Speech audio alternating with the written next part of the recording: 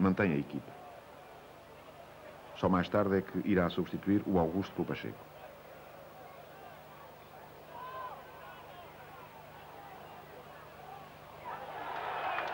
Skoda. Bons pés.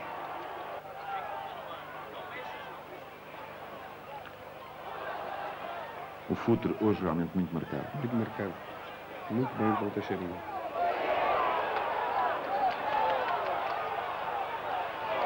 Uma das escapadas do, fu- do uma das poucas escapadas do futre, a fugir ao balacó. E aqui uma boa defesa do Sérgio. É um remate eh, muito perigoso do Fernando É Gomes. verdade, excelente golpe de rins. No canto, e lá está outra vez o Sérgio.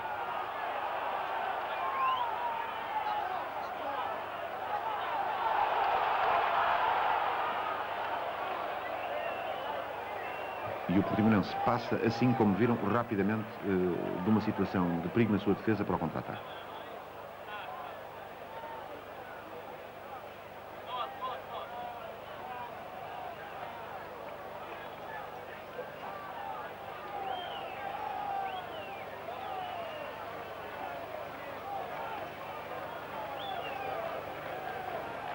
O Porto, na segunda parte, jogou realmente mais ao ataque, jogou mais, tinha de facto os tais cinco homens eh, para fazer uma frente muito mais ofensiva e o Portimonense aqui, eh, enfim, optou eh, por jogar em contra-ataque. Sim, jogou mais no ataque, mas não foi, não foi de uma forma tão ordenada como costumou fazer nas antas. Não? Acho que o campo também não, Não- não ajudava ajudou muito. nem a nós nem a eles, não é? E havia, e havia menos espaços, realmente. Vocês davam também menos espaços.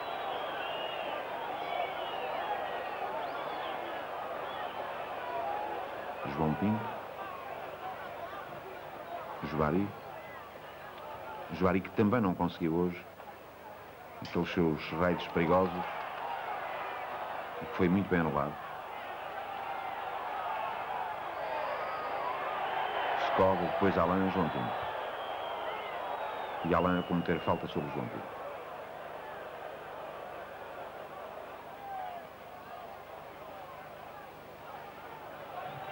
Outra vez Futre. Ia passar por Teixeirinho, mas lá vai à dobra o Augusto e faz falta sobre o Futre.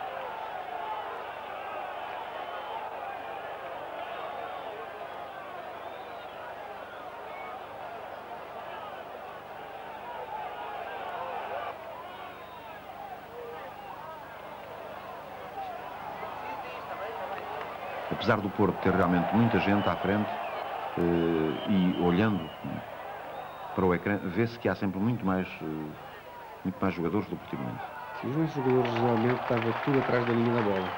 É importante eh, numa equipa que eh, não quer dar espaço ao ao adversário estar atrás da linha da bola e foi o que nós fizemos.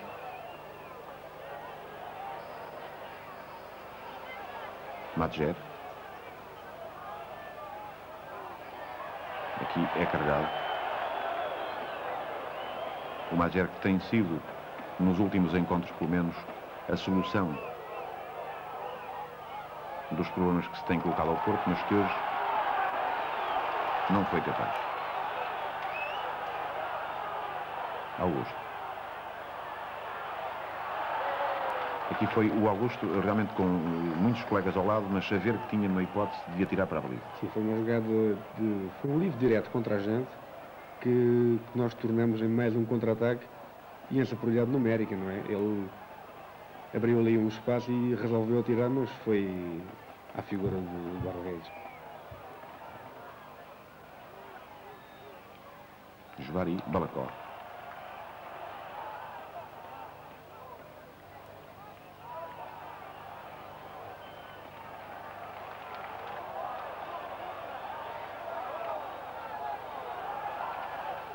Luciano. Fora.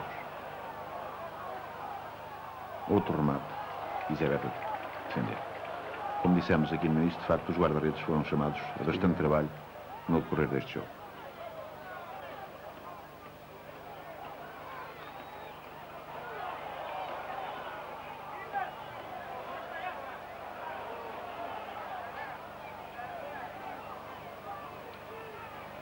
Vimos há pouco e cá atrás o Semedo, de facto, como disse o Alhinho, eh, mais recuado do que realmente por força da saída de Laurent. E outra vez, Luciano, Augusto, aqui realmente dava a sensação uh, de que o Portimonense já começava a acreditar firmemente que a vitória lhe não fugiria. Uma boa jogada do Porto, com o Sérgio a sair bem mais uma vez, mas quando ele larga a bola já está lá um companheiro seu para fazer o alívio. Sérgio outra vez. E outra vez. Portanto, verifica-se por este resumo que realmente o Porto tentou atacar muito. Tentou.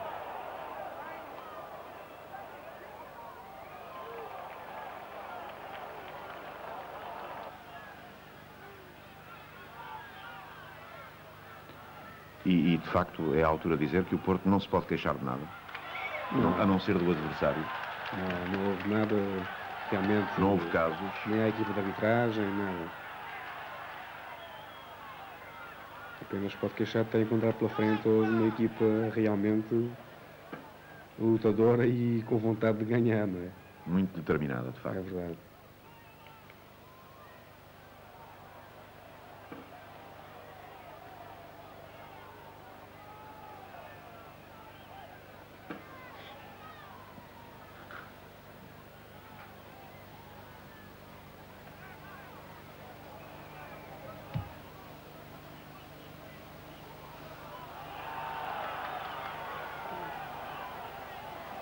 Aqui uma jogada em que o Skoda tenta passar a bola por um lado e ele por outro. Mas João Pinto não vai lá porque, de facto, a bola levava força demais e acabou por sair.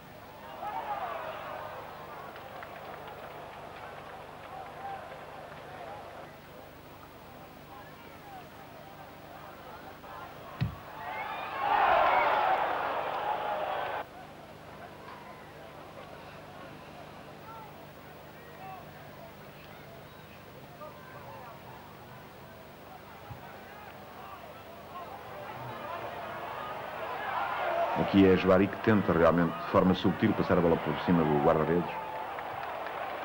Mas nem ele consegue, nem a seguir o Madja.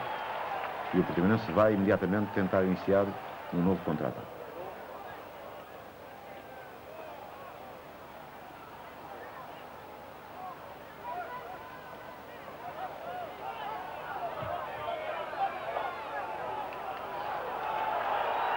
Madjer, fute.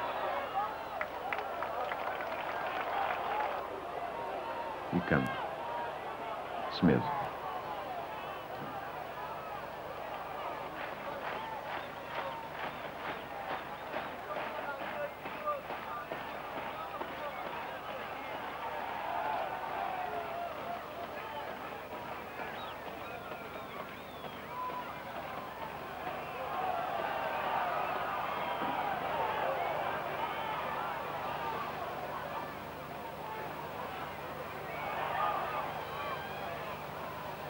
Já não estaremos muito longe do final.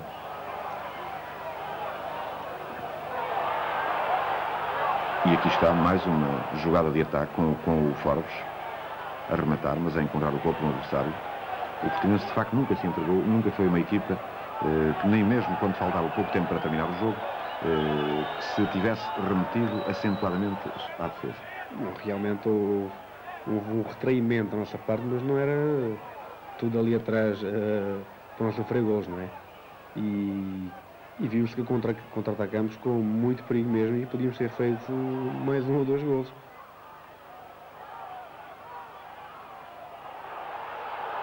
Viram como o Skoda se antecipou no início desta jornada?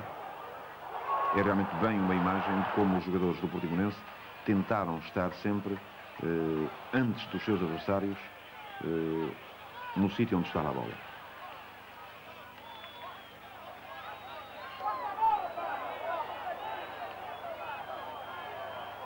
Teixeirinho. Anular tá bem o um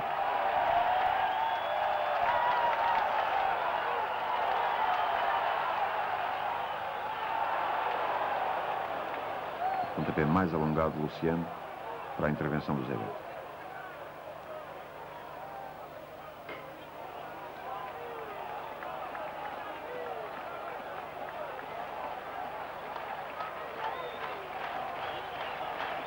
Eu não sei até que ponto que poderia, enfim, ter algum efeito o conhecimento por parte dos jogadores do Porto do resultado que estava a verificar-se em Guimarães. Eh, vocês que andam lá dentro é que podem dizer melhor o que é que acontece em momentos como esse. Sim, realmente eu acho que naquela altura o Porto a perder por 1 a 0 e sabendo que o Benfica estava a ganhar, tinha que dar tudo por tudo e foi o que fez. Uh, mas não conseguiu, pronto, não é? Só que isso pode também, eh, digamos, provocar uh, algum nervosismo. É natural que provoque que ajude menos a fazer bem as coisas. Sim, é natural. É muito natural e ainda por cima num campo daqueles eh, que estava um bocado maltratado também. Sobretudo ali naquele sítio dos guarda-redes. Este foi mais um lance com o Joari, o excelente jogador Joari, que hoje de facto também não teve possibilidades de fazer aquilo que ele tem feito muitas vezes. Isto é, é virar a marcha dos acontecimentos a favor da sua equipe.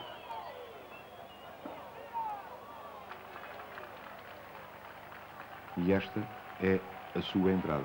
É Faltam verdade. então cerca de 10 minutos para terminar o jogo. Sim, o Porto nesta altura já estava a, a, meter muitas bolas lá para a nossa área, como é neste caso, não é? E aí havia que acautelar. Havia que acautelar em, em parte. Mas não foi exclusivamente para defender. Saiu o Alain, um homem do ataque, e entrou o Alhinho. um alívio mal feito.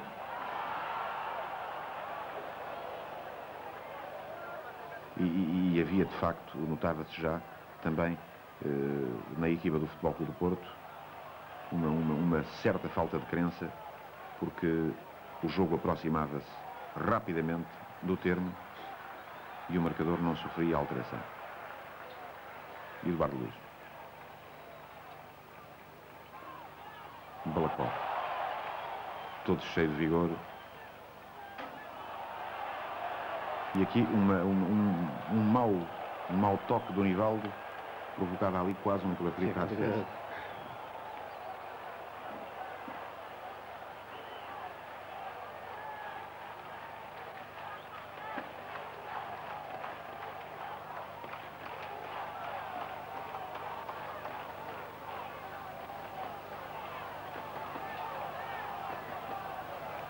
Nivaldo outra vez e o Forbes, Diniz,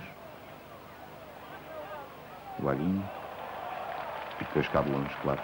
Aqui há realmente uma, uma, uma situação curiosa. Fica toda a gente em pânico quando vê eh, o Sérgio eh, deixar de bater a bola no terreno e dava quase a visão de que lhe passava por cima. Foi por isso há bocadinho. Aquele campo estava muito mal e podia traí-lo, não é?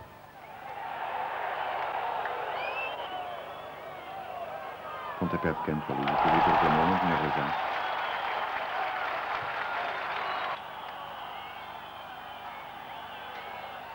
E de facto o jogo está quase a chegar ao fim. Joga-se ainda mais pelo ar, com o Porto a despejar bolas lá para a frente. E o Sérgio desta vez a resolver o problema de forma pouco habitual, jogando de cabeça. de facto um bom trabalho. E aqui, de facto, já estava toda a gente à espera do apito final do árbitro.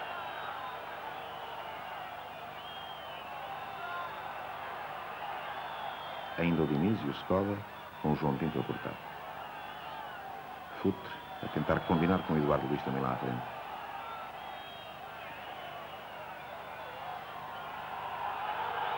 Há de facto uma dificuldade evidente do Porto em romper por qualquer lado.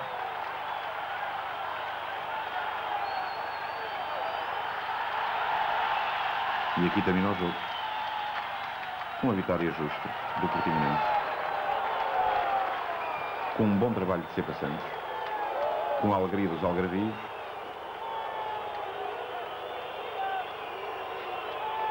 Com os abraços que são normais em situações como esta. E agora também José Alexandre Alhinho com o futuro talvez um pouco mais desanuviado. Sim, acho que a partir desta altura, o... embora... Não foi surpresa o resultado deste jogo e o Farense poderia até ter marcado mais três ou quatro golos, tão grande foi a sua superioridade. Logo aos dois minutos, Jorge Andrade marcou um gol que Carlos Valente invalidou erradamente, pois um defesa ao gravio caído junto à linha final colocou o jogador do Farense em posição legal. Mas aos 11 minutos, o merecido tento inaugural, livre de fortes do lado esquerdo e Orlando a emendar muito perto da baliza de Sérgio. Dois minutos depois, o Farense elevou para 2-0. Excelente trabalho de Jorge Andrade, que foi com fortes um quebra-cabeças para os visitantes, e Sérgio, em último recurso, a derrubar Pereirinha. Fortes, na conversão da grande penalidade, não falhou a ocasião. O mesmo Fortes tem pouco depois uma excelente jogada pelo lado direito, mas Jorge Andrade não vai conseguir finalizar da melhor maneira. A única ocasião de algum perigo criada pelo Portimonense na primeira parte foi num remate de Forbes, mas a bola subiu demasiado e o efeito do lance perdeu-se. A desorientação dos visitantes era evidente e Balacó oferece a Nando uma bela ocasião que este acaba por desperdiçar. Pouco depois, após um canto contra o Farense, a melhor jogada de todo o encontro.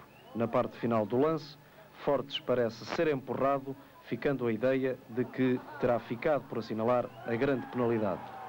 Na segunda parte, o Farense continuou a dominar e após outro lance de Fortes, Nando perde o 3-0. Na sequência do pontapé de canto, Jorge Andrade primeiro e Orlando depois vem Sérgio evitar o golo com duas excelentes intervenções. O Portimonense era uma equipa sem capacidade para contrariar a boa exibição do Farense e após um alívio de Carlos Pereira, Jorge Andrade volta a isolar-se, consegue fintar Sérgio, mas Balacó evita o golo em último recurso. Depois, a passe de Lucas, o mesmo Jorge Andrade volta a perder uma boa oportunidade. Não surpreendeu por isso o 3-0 aos 36 minutos. Leonardo mete mão à bola na grande área e na transformação da grande penalidade, Jorge Andrade marca finalmente o golo que tanto perseguiu. Um minuto depois, 4-0. Jogada de Lucas pelo lado direito, Sérgio ainda consegue sacudir a bola para a sua frente, mas Spassov não desperdiça a recarga. 4-0, um resultado que acaba por não expressar o domínio e a excelente exibição produzida pelo Farense. O Farense em Portimão foi a primeira equipa a marcar e um apenas decorridos 22 minutos quando Jorge Andrade fez funcionar o marcador. Alguns protestos por parte dos homens do Portimonense, mas a verdade é que o árbitro validou o tento. Aos 35 minutos, José Tó depois de uma falha de Vitor Duarte, vai fazer o 1 a 1.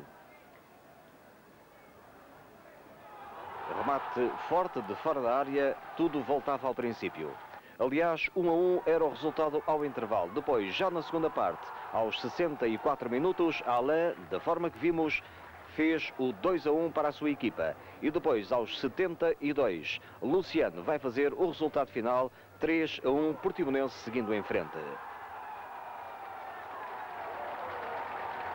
A vingança de há oito dias levava assim a equipa de Portimão às meias finais da Taça de Portugal.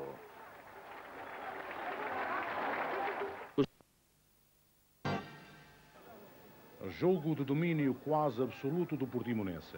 O Elvas não construiu uma única oportunidade de golo. Aos 29 minutos, 1-0. Livre marcado por Skoda, para Luciano, que faz um golo muito contestado pelos elvenses, por alegado fora de jogo que as imagens não esclarecem.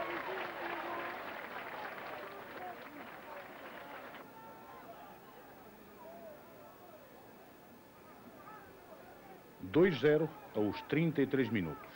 Ataque portimonense, a defesa do Elvas cedeu canto. Skoda aponta o castigo e Elhinho, na sequência da jogada, marcou o gol.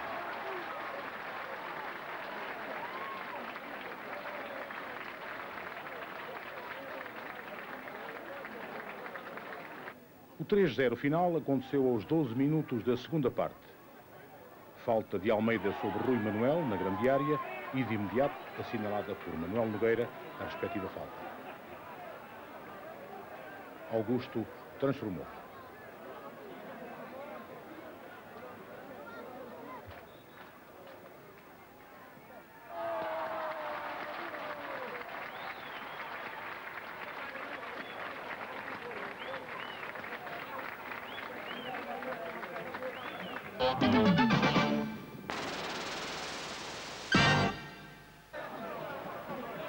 Um belo espetáculo de futebol durante 45 minutos este Portimonense Vitória de Guimarães. E começou logo numa jogada de Rui Manuel, 18 anos, que muito prometem no futebol português. Valeu a intervenção de um defesa vimaranense a ceder o canto e a evitar o gol. Aos 7 minutos, 0-1. Um lançamento para Necama, que parte de posição legal no momento do passe, e o chapéu primoroso ao guarda-redes Sérgio. Protestaram os algarvios, mas sem qualquer razão. Sete minutos depois viria, no entanto, o gol do empate, conseguido através de um remate espetacular do quase reforço do Benfica, Augusto, um remate que deixou Jesus sem qualquer hipótese. Pouco depois, uma falha de Barão permitiu que Paulinho Cascavel isolasse Admir, mas este atirou a bola muito por cima da trave. As ocasiões de golo surgiam de ambos os lados e o jogo tinha emoção. Após uma jogada de Forbes e o remate de Skoda, Luciano voa para a bola, que lhe escapa por pouco. Logo a seguir, Admir faz um passe para Necama, de novo em posição correta, e é o guarda-redes Sérgio que evitou o golo que se adivinhava, mais uma vez, porque a defesa do Portimonense ficou parada. Já perto do intervalo é a vez de Pacheco, em jogada individual, conseguir isolar-se, mas valeu ao Guimarães a atenção e os reflexos do seu guarda-redes Jesus. Quase a acabar a primeira parte, Rui Manuel, sempre ele, entra na área e cai em luta com Tozé, num lance que deixou realmente a ideia de grande penalidade, não assinalada por Rosa Santos. O empate, no final dos primeiros 45 minutos, justificava-se e servia lindamente os desejos das duas equipas no que respeita à tabela classificativa. Bom... Há 13 jornadas que o Varzim não conhece a derrota, apesar do empate no seu terreno frente ao Portimonense ter o sabor a um ponto perdido que possivelmente não estava nos planos de Henrique Calisto. A primeira situação de perigo pertenceu aos algravios, Salomão vai obrigar Lúcio a excelente defesa. Foi a grande e única oportunidade do Portimonense no primeiro tempo, marcado pela tarde infeliz de Rui Barros a concretizar. A primeira situação.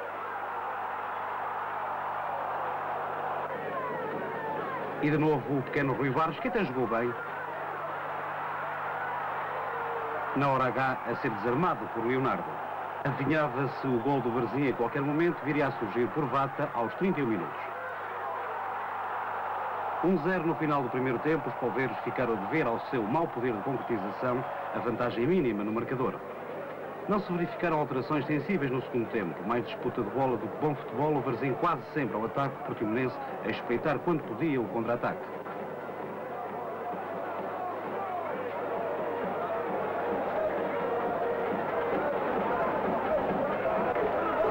Rui Barros, mais uma vez protagonista, a falhar uma boa ocasião. E aos 13 minutos, o gol do empate, mérito para o bom trabalho, para a boa técnica de Forbes. Vamos ver.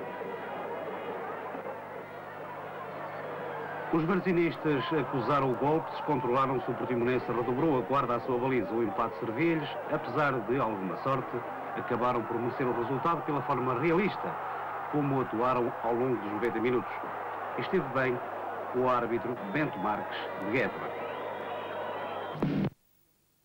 as equipas antes do jogo se iniciar, no momento da escolha de campo perante o árbitro do encontro, o Sr. Fernando Alberto do Porto, que esteve mal no âmbito disciplinar, dado que permitiu dureza a mais em alguns lances, não mostrou cartões amarelos em jogadas de verdadeiro perigo como manda a lei e permitiu de forma inadmissível que a partida fosse interrompida várias vezes por larguíssimo tempo para assistência aos jogadores, o que lhe quebrou o ritmo e ajudou a empobrecer o espetáculo.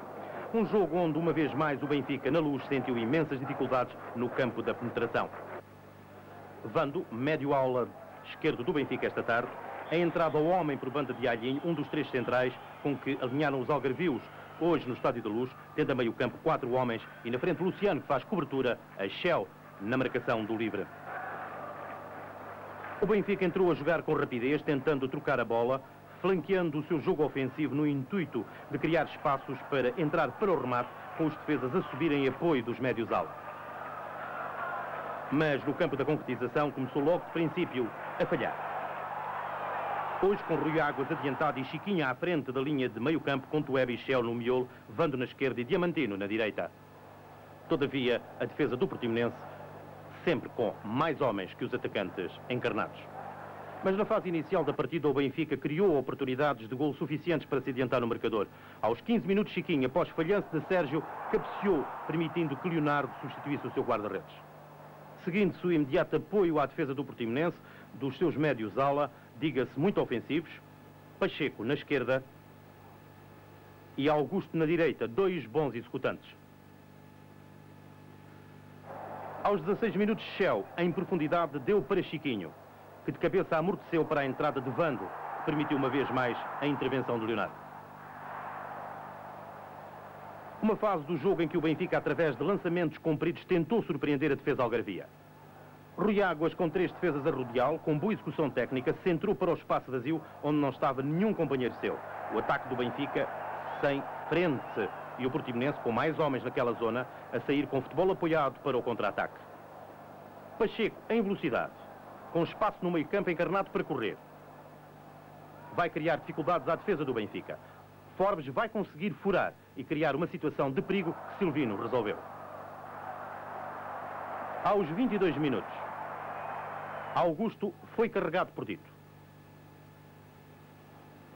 Da transformação do livre por Pacheco, com o pé esquerdo, a bola ia fora. Silvino meteu-a no terreno, permitindo que Luciano fizesse o gol.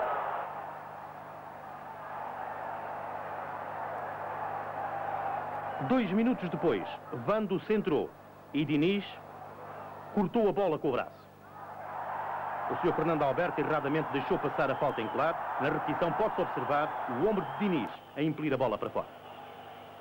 A perder, Mortimor trocou um defesa dito por um médio ofensivo, Carlos Manuel. E aos 43 minutos, Chiquinho, o futebolista do Benfica, em melhor condição física, no momento foi derrubado na área por Diniz.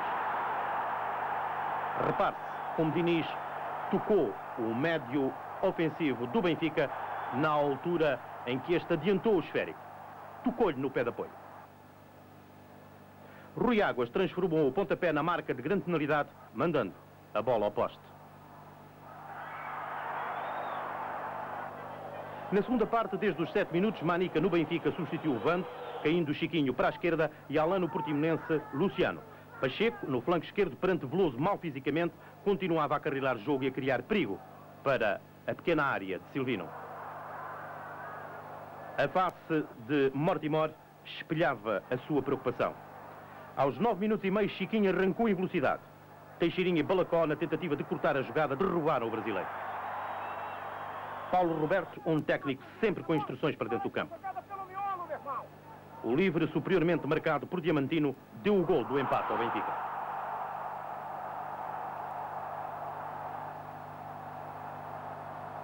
Contudo, o Benfica continuou a sentir imensas dificuldades de penetração. Por um lado, pela sua má movimentação dentro do terreno. Por outro, pelo bom escalonamento do adversário. Aos 31 minutos, Teixeirinha jogou a bola neste lance em que Rui Águas foi desfeiteado. Na repetição podemos ver que Teixeirinha vai à bola, tirando-a ao ponta de lança do Benfica.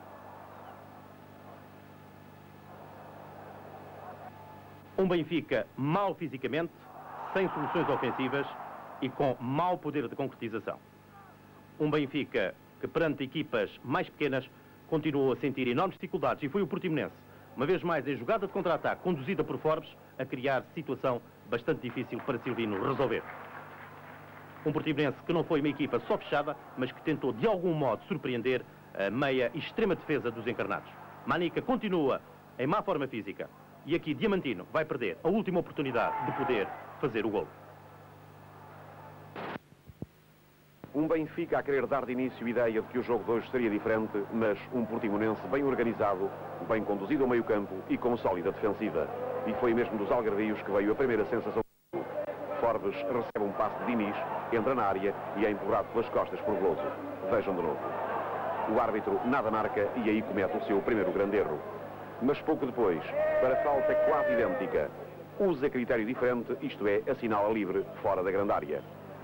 E José Guedes volta a errar aqui, quando aos 23 minutos assinala a Nunes um fora de jogo que na verdade não existe. A resistência portimonense vai-se prolongando, mas aos 34 minutos, Nunes, uma boa exibição, faz o primeiro golo dos encarnados, o único do tempo inicial. não há qualquer fora de jogo. O centro de Carlos Manuel, o amorti de Rui Águas, para o remate ali à meia volta de Nunes, fazendo o tal golo da primeira parte. No segundo tempo, parece regressar com outra disposição a equipa do Benfica. E no Portimonense, Paulo Roberto tira Forbes, um jogador que registra notáveis progressos, e mete Carim. A tentativa de dar nova força ao ataque não resulta, porque o meio-campo algarvio fica mais frágil e porque de pouco depois o Bando faz 2 a 0. Sérgio tapa mal o ângulo e o golo deita tudo por terra. É de facto aos 7 minutos que se decide a sorte deste jogo e neste lance. O Benfica começa a crescer gradualmente, agarra os cordelinhos do jogo e com uma vantagem de dois golos, o Portimonense não tem mais hipóteses, muito embora continue de vez em quando tentando o ataque. Aqui é Luciano que perde a oportunidade e dá aso a um rápido contra-ataque do Benfica, aí de facto já mais terminado e sobretudo bem mais veloz.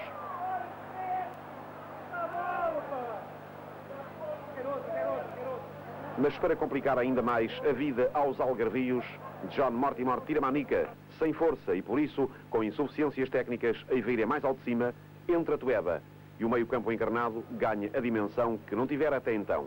Também por força da quebra começava a ser visível na equipa adversária. Rui Águas, o verdadeiro e talvez único ponto de lança do Benfica, tem ainda este remate a solicitação de Diamantino e mais tarde é o esforçado Álvaro, que ganha um livre depois de jogada perigosa pelo seu flanco. A cobrança de Carlos Manuel e Rui Águas, mais uma vez. Com o Benfica a controlar totalmente o jogo, Rui Águas vai fazer 3 a 0. Primeiro com uma má entrega e depois com Leonardo e Balacó, incapazes de cortarem o cruzamento de Diamantino. Rui Águas aparece ali no sítio certo a dar o pontapé na hora decisiva e a estabelecer o 3 a 0. Três minutos mais tarde, e de novo Rui Águas a estabelecer o resultado final e ainda com Leonardo, como vamos ver, a falhar duas vezes. O centro de Vando, Leonardo a devolver para o mesmo jogador e Vando a cruzar de novo para o toque sutil ali de Rui Águas na hora certa e no momento próprio. São estes lances que definem verdadeiramente os homens de golo e de grande área. O Benfica ganha, não faz uma grande exibição, mas está por mérito próprio na final da taça, onde terá o Sporting como adversário.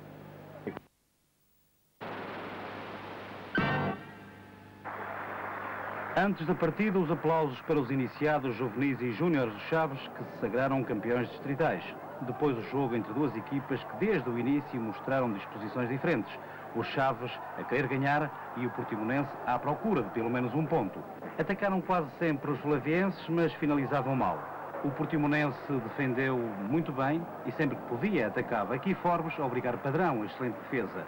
No segundo tempo manteve-se a tónica do jogo e aqui um lance em que poderia ter complicado os planos aos algarvios, Secoda por palavras dirigidas ao árbitro foi expulso. O Chaves pressionava, mas não concretizava. Parece-nos que os transmontanos estão a acusar um certo desgaste físico, o que é compreensível depois de uma época tão positiva. A sorte também não esteve pelo lado dos flavienses. Um lance em que César vai atirar à barra. 0-0 resultado final, Xavier de Oliveira do Porto esteve bem, mas foi mal auxiliado.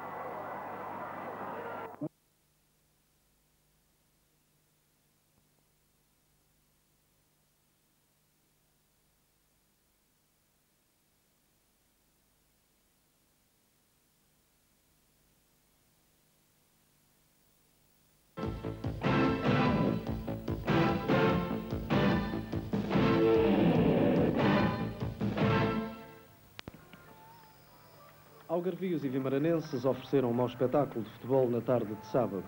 E se os visitantes, longe de atuarem bem, ganharam por 4-0, foi só porque os da casa quase não existiram como equipa, facilitando escandalosamente a goleada.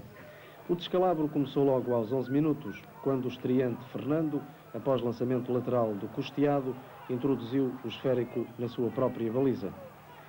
Tudo então se tornou fácil para os minhotos, cuja defesa, Jesus incluído, chegou e sobrou para um adversário cujo técnico insiste em meter brasileiros sem categoria em detrimento de portugueses de valor superior. Também o árbitro Miranda Dias, além de falar e gesticular demais com os jogadores, teve má atuação. e aos 18 minutos perdoou um penalti ao Portimonense quando Nivaldo empurrou claramente Admir dentro da área. Mas o Vitória teve mais oportunidades. Primeiro por Décio, um palmo da baliza não conseguiu concluir. Uma boa jogada entre Nadinga e Costeado, levada a cabo pelo lado direito, ante uma defesa que abria buracos de todo o tamanho. Foi por um desses buracos que, pouco depois, Nadinga desmarcou Tozé, mas o extremo vimaranense levantou demasiado esférico no momento de fazer o chapéu ao guarda-redes Sérgio. Sérgio que, aos 42 minutos, sozinho frente a Décio, nada pôde fazer para evitar o segundo gol dos visitantes. No reatamento, os locais deram ar da sua graça aos 5 minutos, quando Secoda, ainda que em posição de fora de jogo, não assinalada por Miranda Dias, perdeu a melhor ocasião do Portimonense em toda a partida. Depois, jogando no contra-ataque, o Vitória não teve dificuldade em fazer ainda mais dois golos. O 3-0 aos 34 minutos, em jogada de Carvalho, que correu 50 metros sem ninguém a incomodá-lo, para depois oferecer o golo de bandeja ao seu companheiro Décio António. O 4-0 surgiu a 6 minutos do fim, centro de Décio António, do lado direito. Pires tem o lance dominado, mas permite que Admir se interponha para fazer o golo com a maior das facilidades. E o 5-0 só não apareceu, porque Adão não concluiu da melhor maneira um contra-ataque conduzido por Bené mesmo sobre o final do encontro. Os assobios dirigidos após a hora e meia aos jogadores e técnico algarvios eram a imagem clara do descontentamento após exibição tão irreconhecível desta equipa de Portimão, onde apenas alinharam, na tarde de sábado, quatro jogadores nascidos em Portugal. António a entrar na área, a atirar. Sérgio a defender, depois Casaca falha a recarga e Jorge Andrade acaba por desperdiçar a oportunidade atirando pela linha de fundo. Aos 20 minutos, o lance polémico do desafio, Coelho com a bola, luta com o Major, caem os dois na área. Dá a ideia que o defesa algarvio apenas pretende jogar a bola. No entanto, Ezequiel Feijão é perentório, aponta prontamente a marca da grande penalidade. Esta é a repetição que, na verdade, não nos permite tirar conclusões sobre o lance. Uma grande penalidade apontada aos 22 minutos e que depois Parente se encarregaria de transformar no primeiro gol da partida. Apesar da boa réplica do Portimonense, era o Boa Vista quem mais atacava e aos 33 minutos Jorge Andrade falhava desta maneira o chapéu a Sérgio. Todavia, a melhor oportunidade da primeira parte iria pertencer ao Portimonense, este remate de César Brito. Para os 45 minutos, o Portimonense voltou com outra disposição e criou mesmo algumas oportunidades junto à baliza de Alfredo. Aqui está uma delas, com Forbes dentro da grande área a libertar-se dois adversários, mas depois a tirar fraco ao lado da baliza de Alfredo. Pouco depois seria a vez de Karim dentro da área e, beneficiando de uma saída precipitada de Alfredo, a tirar à malha lateral. 20 minutos do segundo tempo e saía Jorge Andrade, entrada Monteiro. Em 5 minutos a partida iria ficar resolvida. A sequência deste livre. Depois Phil Walker abre para a direita para a corrida de Coelho e vai aparecer Monteiro a saltar melhor que dois adversários e a fazer o segundo gol. E seria ainda Monteiro, envolvidos 4 minutos, a fazer o resultado final. Resultado justo, 3 para o Boavista, 0 para o Portimonense, que espelha aquilo que se passou durante a partida, arbitragem irregular de Ezequiel Feijão. Grande plano para Henrique Calixto, técnico do Varzim. Ele deu hoje um belo exemplo a tantos colegas de profissão, sendo o primeiro a apoiar decisões do árbitro que os seus pupilos injustificadamente contestavam, mesmo num golo anulado à sua equipa. Uma postura que se aplaude e que é pena ser exceção. Quanto ao encontro foi mau, mais por culpa dos algarvios, que continuam uma sombra de si próprios, sem um padrão de jogo, sem condição física, sem presença anímica e psicológica. Por isso, o Varzim ganhou e bem, mercê da sua melhor organização, boa condição atlética e disciplina de jogo, ainda que na primeira parte não tivesse construído grandes ocasiões de golo. Nesse período atacou mais o Portimonense, mas o Varzim fechou bem a sua área e os Algarvios só tiveram um lance bem construído, concluído com um forte remate de Secoda à figura do guarda-redes Lúcio. Logo no primeiro minuto da segunda parte, os poveiros marcaram. Passe comprido de Brito para Vitoriano, que partiu de posição legal, e depois um ressalto infeliz de Secoda, que devolveu a bola ao lateral varzinista para este, de primeira, bater o guarda-redes Sérgio. Mais abalada ficou a confiança dos locais e o 2-0 esteve à vista numa cabeça de vata, a que Sérgio se opôs com a defesa da tarde. Seguiu-se uma fase de grande assédio dos algarvios, mas quanto a grandes oportunidades, apenas um disparo de Forbes, a que Lúcio se opôs bem, sacudindo a bola para canto. Melhor ocasião teve o Varzim aos 71 minutos, quando, na marcação de um livre, Paquito desferiu um remate fortíssimo que só o poste esquerdo da baliza de Sérgio conseguiu deter. Pouco depois, a melhor ocasião dos locais, quando um defesa visitante, sobre a linha de golo, defendeu uma bola cabeceada por Carim, após centro de José Carlos, que foi um dos poucos algarvios em evidência. Mas aproveitando o adiantamento e a falta de lucidez do Portimonense, os palveiros fariam 2-0 aos 86 minutos, com Lufemba a aproveitar a passividade de Alhinho e Nivaldo, tendo tempo para tudo, até para fazer o golo. Vitória indiscutível do Varzim, numa partida bem arbitrada pelo iborense João Rosa. Nem sempre quem melhor joga consegue chegar ao triunfo e foi o que aconteceu em Setúbal. O Vitória fez uma das piores exibições da época e ganhou. O Portimonense jogou como nunca o tinha feito este ano e perdeu. A equipa de Portimão teve no ataque dois homens em foco, Forbes e César Brito, que deram muito trabalho à defesa sadina, que revelou grandes deficiências. Com Eurico e Zezinho no centro da defesa e Kim jogando a trinco, o Vitória deixava na frente Aparício, quase sempre desamparado e sem grandes hipóteses de criar perigo para o guarda-redes Sérgio. Jogando um futebol de categoria, não foi de estranhar que os algarvios marcassem um golo que apareceu na sequência de um pontapé de canto depois de Mesaros ter defendido um remate de César Brito. Repare bem no excelente pormenor de José Carlos. Depois o centro e César Brito de cabeça a fazer 1-0 para o Portimonense. Um gol merecido para o melhor jogador em campo. O Vitória de Setúbal não se encontrava e só Manuel Fernandes demonstrava alguma calma, sendo dele o único lance de grande perigo na área do Portimonense durante a primeira parte. No início do segundo tempo, novo remate de Manuel Fernandes, que poderia ter dado o empate, mas as grandes oportunidades pertenceram ao Portimonense. César Brito, o centro, excelente simulação de Pires.